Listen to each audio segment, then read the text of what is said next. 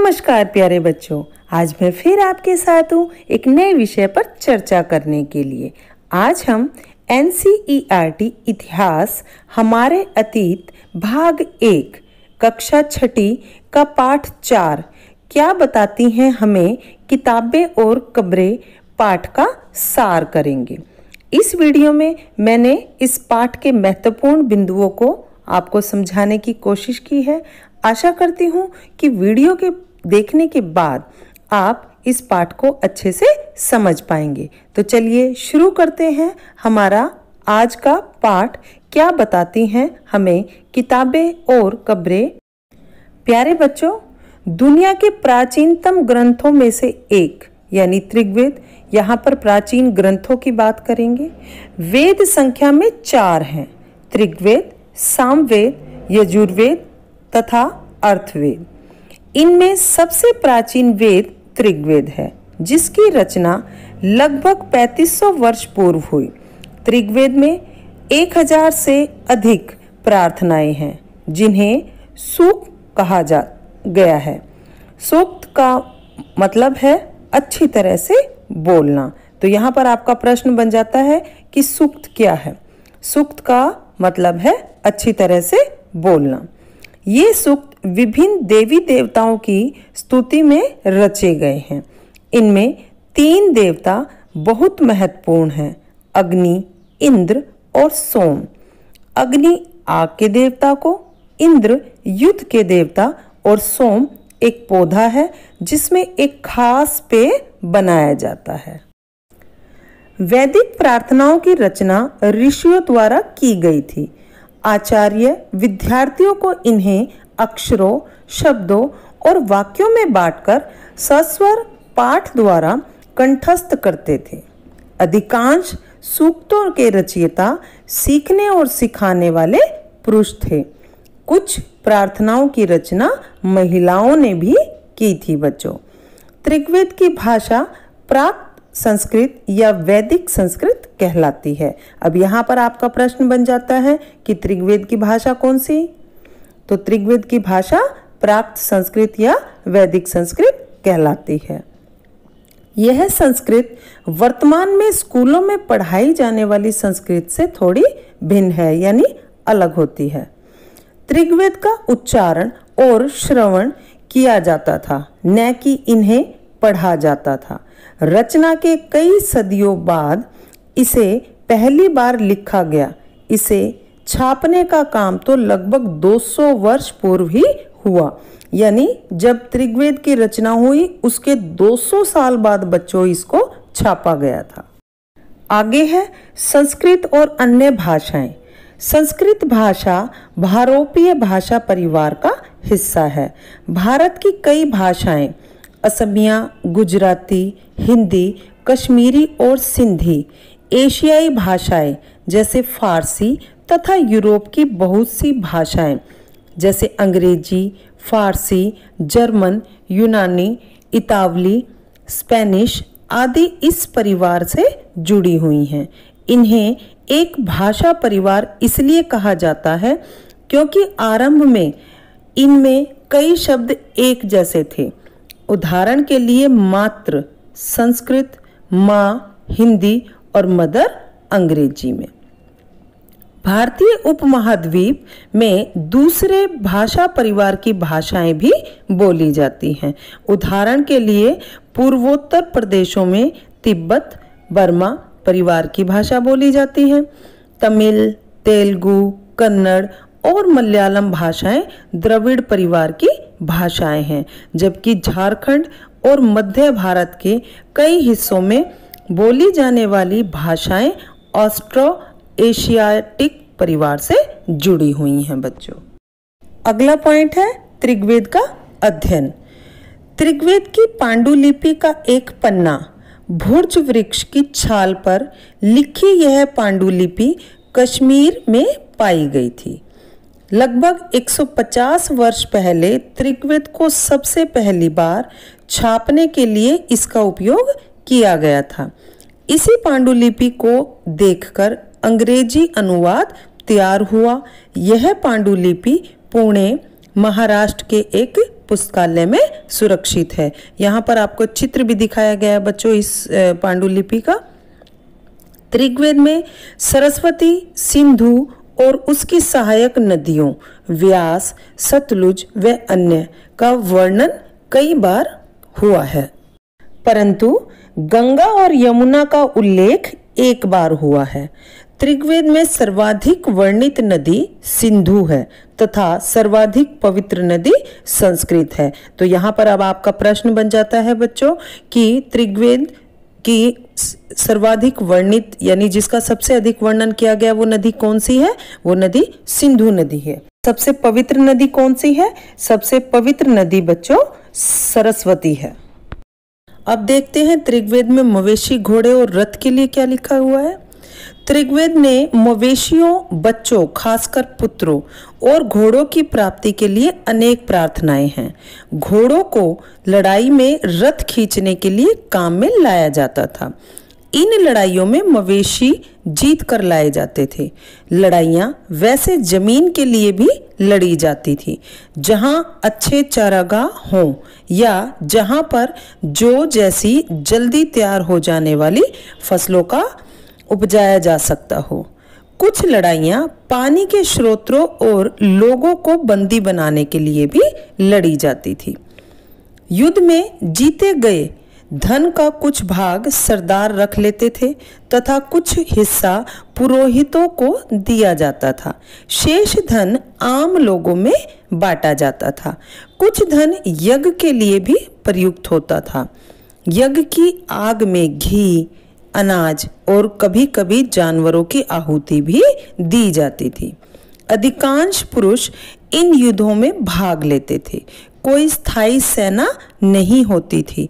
लेकिन लोग सभाओं में मिलते जुलते थे और युद्ध व शक्ति के विषय में सलाह मशवरा करते थे।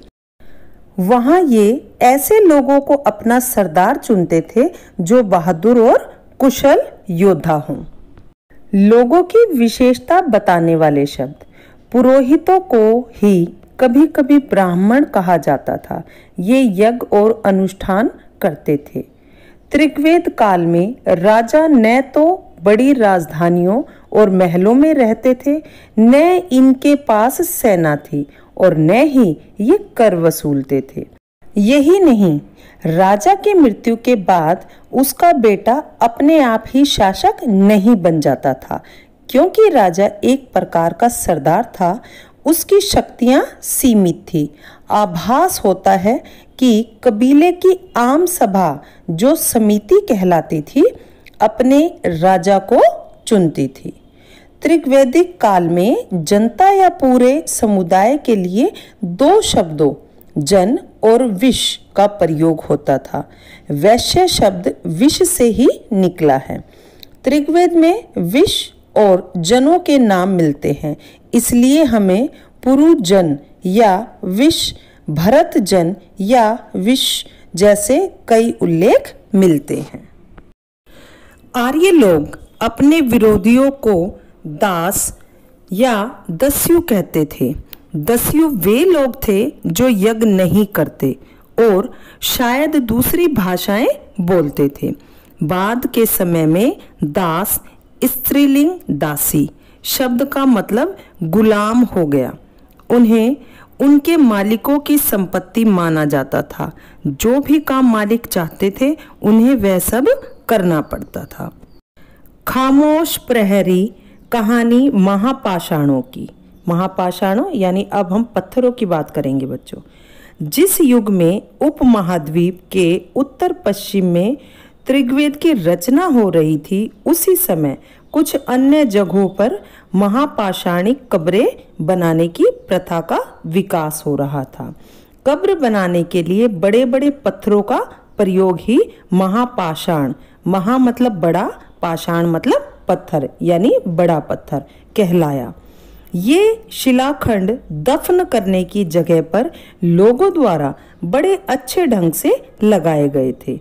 महापाषाण कब्रें बनाने की प्रथा लगभग 300 वर्ष पूर्व शुरू हुई। यह प्रथा दक्कन, दक्षिण भारत, उत्तर पूर्वी भारत और कश्मीर में प्रचलित थी। अब आपसे प्रश्न पूछा जा सकता है कि कब्र बनाने की प्रथा कहाँ प्रचलित थी? तो दक्कन, दक्षिण भारत, उत्तर पूर्व भारत और कश्मीर में प्रचलित थी बच्चों। कुछ महापाषाण ज़मीन के ऊपर ही दिख जाते थे। कुछ महापाषाण ज़मीन के भीतर भी होते हैं।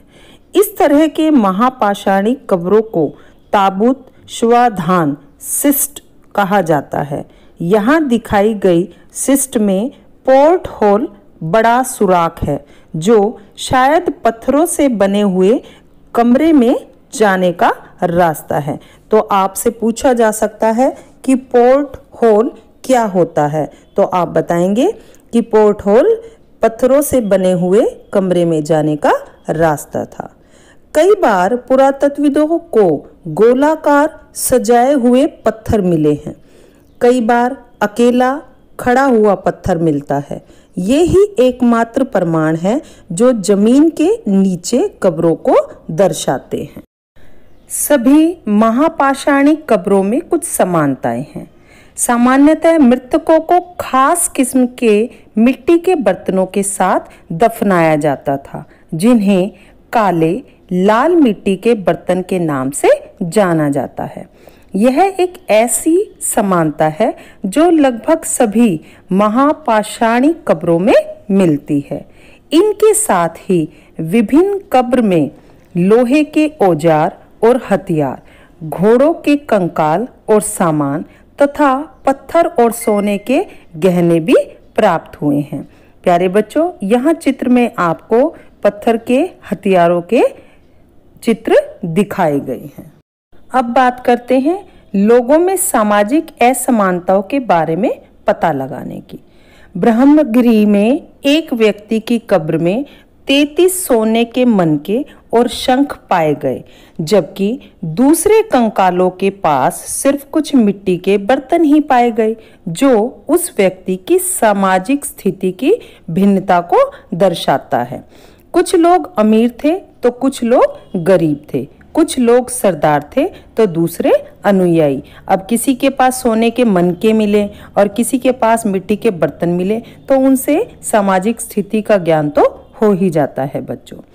कुछ कब्रों में एक ही परिवार के लोगों को एक ही स्थान पर अलग अलग समय दफनाया गया था। बाद में मरने वाले लोगों को परिवार के सदस्य की पहले से बनी कब्रों में लाकर दफनाया जाता था। कब्रों को पहचानने के लिए उस पर गोलाकार या खड़े पत्थर के चिन्ह बनाए जाते थे।